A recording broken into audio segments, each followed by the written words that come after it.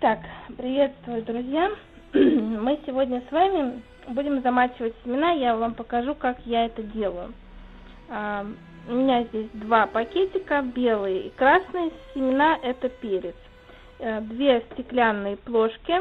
Ну вот, э, одна это пепельница, но я не нашла подходящий. Вот, но мне нравятся вот такие вот, э, не знаю, они называются чашка Петри, что ли. В общем, очень удобные вещи. И нам понадобится обычная хлопчатобумажная ткань, просто какой-то кусочек, э, который вам э, не жалко, ну, от старой простыни. И мы, сейчас я отрежу э, вот этот лишний кусок.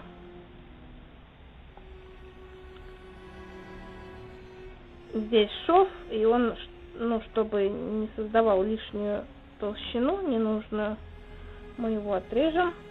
Так, отрезаем, ну, где-то небольшой кусочек, то есть по размеру вот этой вот ложки. А, может быть, чуть меньше.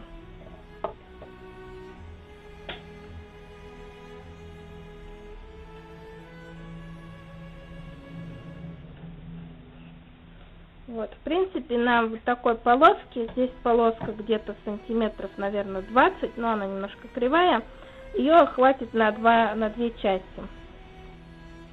Итак, у нас с вами есть два вот таких кусочка, где-то сантиметров по 15. Вот, большой возьму для этого.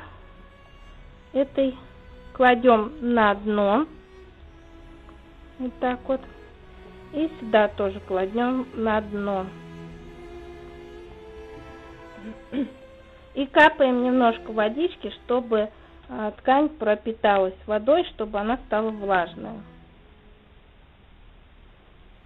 Вот, пока она будет пропитываться, мы с вами начнем распаковывать. Откроем пакетики, посмотрим объем и посмотрим, что вообще нам там предлагается.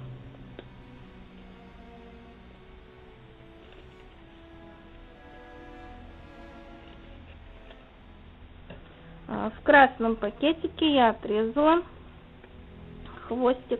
Там есть еще один пакетик, и в принципе на просвет видно, что а, семян там не очень много. Поэтому я думаю, что они будут в маленькой коробочке, в маленькой баночке. А, откроем теперь эту.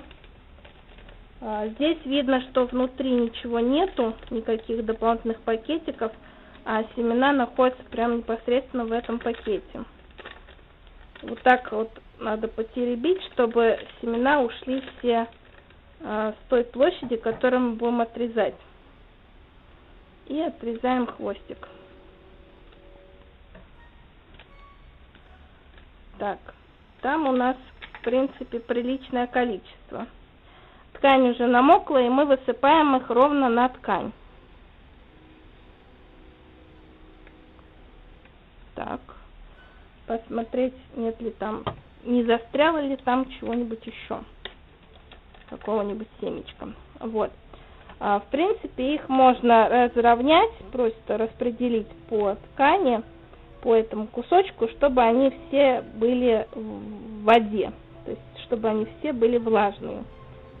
А, как-то ну, не, не налегали как бы один на другой, чтобы каждый был своей отдельной такой вот как бы водной оболочкой. Распределили и накрываем вторым слоем. Так вот.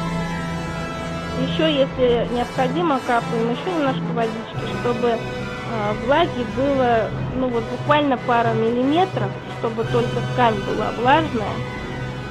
И семена были во влажной среде, но при этом они были э, в этой ткани запакованы. То есть они в одно время э, как бы находятся под защитой внешне, и в то же время они питаются влагой. И также распаковываем эти пакетики.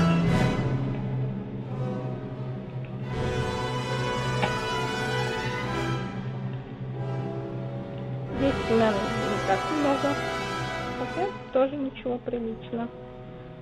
Так, их оттуда выгоняем.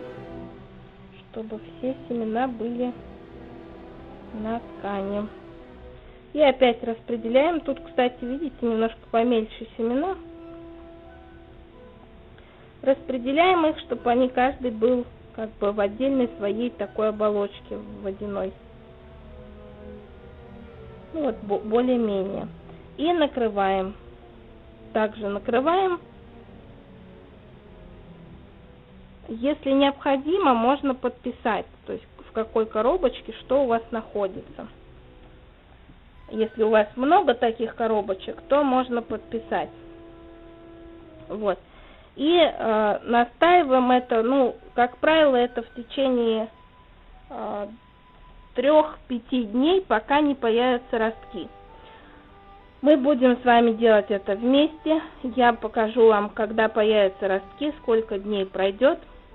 Сегодня я замачиваю уже немножко припозднилась, 2 марта, но э, семена, э, как бы сорта эти довольно быстро схожесть имеют, как я почитала, поэтому они должны быстро взойти. Для чего это нам нужно? Для чего мы вот так это делаем? Почему нельзя просто посеять э, в горшочки, там уже посадить напрямую? Это такой, скажем, наш секрет, не знаю, может быть, тоже другие люди тоже так делают. Для чего мы это делаем? Для того, чтобы ускорить процесс э, созревания семени, для того, чтобы оно набухло, чтобы росток начал э, как бы появляться, чтобы он раз, разъединил вот эти вот э, половинки скорлупок и вылез наружу. Это э, усиливает и укрепляет рассаду. Вот э, не знаю, как там многие говорят, но э, по моему немалому э, опыту, я уже много лет это делаю, много лет занимаюсь ну, рассадой и вообще люблю дачу, всякие дачные штуки. И как бы ну, всему учусь новому чему-то, да, какие-то идеи привношу в свою свои посадки, что-то беру у других идей какие-то, но если вот какие-то такие идеи, которые из года в год и они приносят результат, то а, я ими пользуюсь из года в год и стараюсь не забывать. А, что это нам опять же дает? То есть семечко быстрее прорастает и как бы не звучало удивительно, но это укрепляет рассаду, то есть рассада не будет вытягиваться, а, не будет а, Э, выглядеть э, тощий и хилый, росток э, сразу же будет толстым, мясистым и довольно крепкие листочки будут. Вот, и вот так мы оставляем на 3-5 дней, следим обязательно каждый день, ну, чтобы не подсыхала поверхность, то есть если воды становится чуть меньше, то можно опять же капельку добавить. Вот. Но не надо слишком много, то есть не нужно, чтобы семена прямо плавали в этой жидкости. Только чуть-чуть. Мы смачиваем только ткань, чтобы ткань была влажная. Больше нам влаги не нужно. А, ставить нужно на подоконник. То есть это вполне а, идеальное место. А, там есть батарея, которая как бы прогревает семена и в то же время, ну не совсем семена, то есть она прогревает подоконник, поэтому снизу у них тепло, а сверху холод от окна, потому что сейчас им не нужно настолько много как бы, тепла, который дает батарея, иначе они пойдут в рост раньше времени. Вот.